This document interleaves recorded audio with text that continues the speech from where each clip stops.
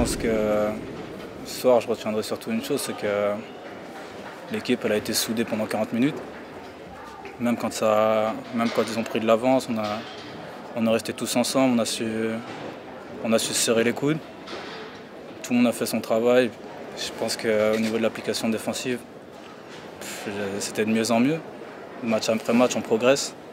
Tout le monde était vraiment concentré, on a mis des choses en place à l'entraînement, on les a appliquées. Voilà, j'ai pas, pas grand chose à dire. franchement, je, suis heureux de cette victoire parce que c'est une victoire qu'il fallait aller chercher. Et on a, on a su y aller. Non, bah, je pense qu'on est une équipe qui, qui se construit, petit à petit. Euh, on a connu des défaites difficiles. Mais moi, je pense qu'il faut oublier. J'essaie à chaque fois d'oublier le, match précédent pour, euh, pour me concentrer sur le match qui vient. Et je pense que les joueurs, c'est ce qu'ils font aussi. Après la défaite de Gravelines, on était, on, a, on, était mal. Je pense qu'après, à Boulazac, on est parti chercher la victoire. Là, on, lutte pour aller chercher la victoire. C'est une bonne victoire. Je pense que c'est ça qu'il faut retenir. Il faut qu'on sache qu'on peut aller très bas, mais on peut être très haut aussi.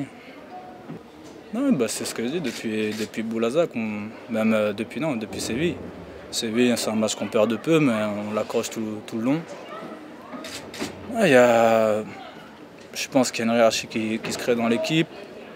Tout le monde commence à connaître son rôle. je trouve qu'on progresse match après match. Maintenant, il faut que ça continue. Il faut pas faut, qu'on reste concentré. qu'il nous reste des matchs à venir. Il faut qu'on aille les chercher. Bah on les a battus, on les a battus à la maison. Je pense que c'est bah, un match qui peut nous qualifier pour euh, la suite de l'Eurocup. Il bah, faut, faut, le jouer comme tous les autres. Il faut qu'on essaye d'aller le gagner. et voilà.